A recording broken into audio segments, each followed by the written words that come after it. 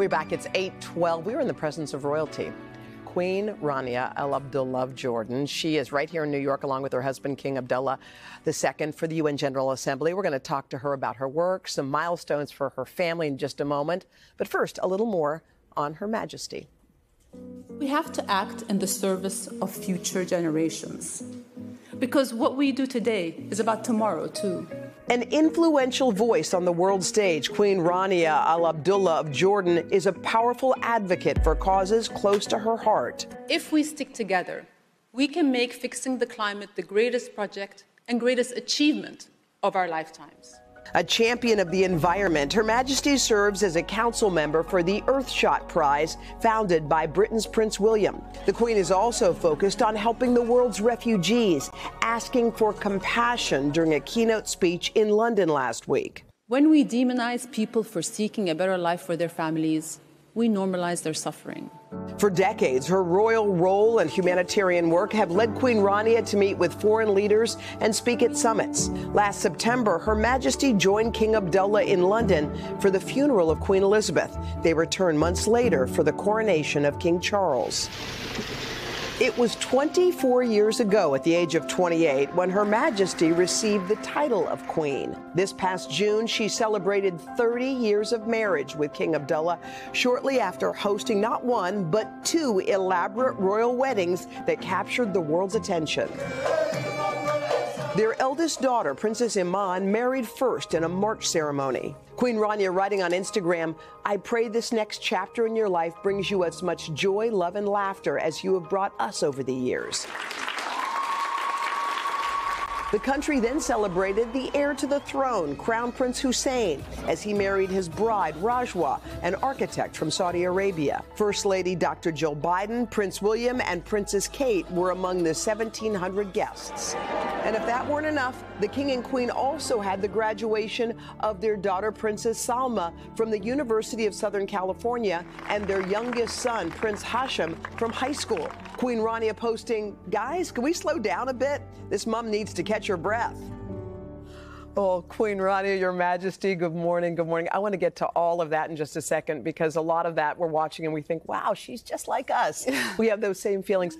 But let's talk about the UN first. Um, you, you, know, I feel like the world is in such a dark place right now. Mm-hmm. And I've heard you give speeches and I feel that there is light there. Mm-hmm. Where do you see, where do you find that hope and how do you convey it? Well, you know, you're right. I think our world is at an inflection point, you know, and it seems like polarization is really a defining feature of our world. You know, mm-hmm. whenever we see somebody who disagree, disagrees with us, it's become natural to demonize them. Yeah. And when you see everything through a political lens, it becomes very difficult to come together over any issue. Mm-hmm. And the irony is that the issues that we're facing today, from climate change to migration to inequality, those all need solutions that come from collaboration. So if we're not talking to one another, you know, we're not going to be able to um, to find resolution to some of these issues. And I, and I just feel like we need more engagement that is rooted in optimism and hope yeah. rather than, you know, fear.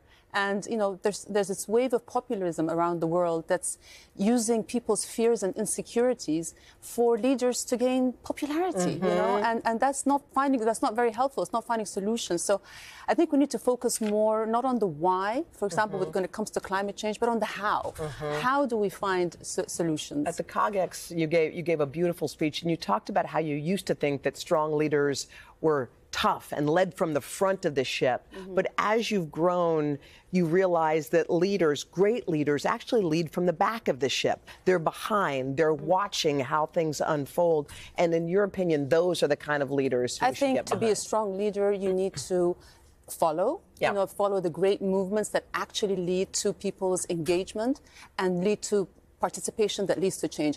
You have to have some self-doubt. What we're seeing today yeah. is so much, I know what I called it, you know, certainty on steroids, where yeah. you're not questioning yourself and you think that your opinion is right.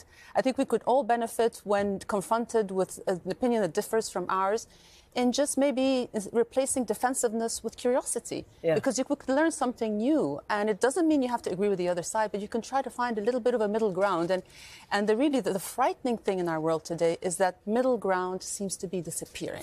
yeah, we need to regain that middle ground because that is where change is going to happen. And you're optimistic that that can that can I think happen. optimism is a, is a choice. I don't know if you remember this, but you've been here on this show many times. Mm-hmm.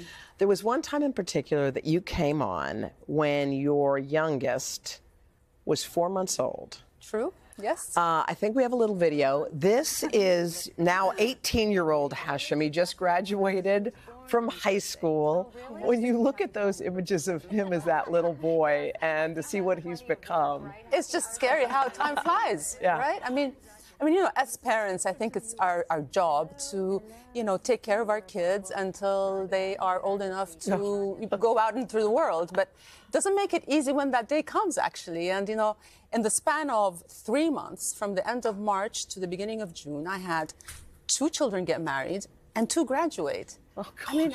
I You're mean, about to be an what- empty What was I thinking? you're, so you're an empty nester, so to speak? I'm an empty nester right now, you know, and it, it's. Uh, but you know, it's just this wave of emotions, you know, with Iman when Mm-hmm. it was a new experience for our family because she's the first one to get married, and there were Mm-hmm. so much, so much planning and anticipation culminated in a really beautiful and emotional day. Nothing can prepare you for the moment you see your daughter in that white dress. Oh. You know, the mixture of emotions of you know pride at the strong and independent woman she's become, joy for her joy, sadness for her leaving home. You know, it's, it all comes together and nothing can prepare you for that. Well, just to brag on your kids a little bit, uh, Crown Prince Hussein went to Georgetown and the Royal Military Academy in England. Princess Iman started in Georgetown, then transferred to New York's Parsons School of Design. Princess Salma graduated from USC, and now your your son is off to college. Yeah. You did good by all your kids. Can I ask one one thing that we wrestle with here when it comes to our kids? Kids and cell phones. I know this is off topic, but.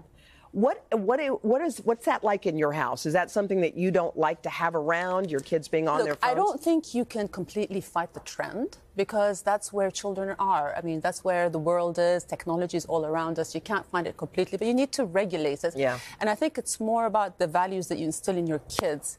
You know, uh, about themselves, the Yeah. self-confidence, the, this, the, the the discipline. All those things are important, and that will determine how they interact with their technology.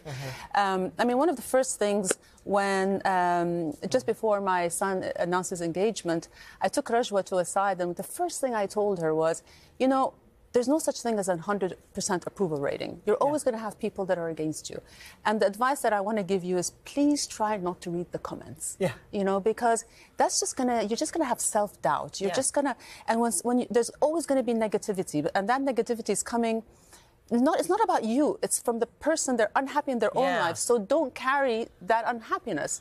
Just keep focusing on what it is you want to do because it'll shake your confidence. You, you think it's not going to affect your morale, but it does. It does. You know, and and so you just need to develop healthy habits around technology, and, and that's what you try to teach your kids not to stay away necessarily from their phones, but to interact with them in a in a healthier way, and to always establish that balance. Well, you've done so well by your children and also just by just the way you're navigating your way through the world and how you're helping everyone. I just want to say thank you. It's been my honor to sit with you, uh, Queen Rania. Thank you so much. I really appreciate it. Thank you. Hey, thanks for watching. Don't miss the Today Show every weekday at 11 a.m. Eastern, 8 Pacific on our streaming channel, Today All Day. To watch, head to today.com slash all day or click the link right here.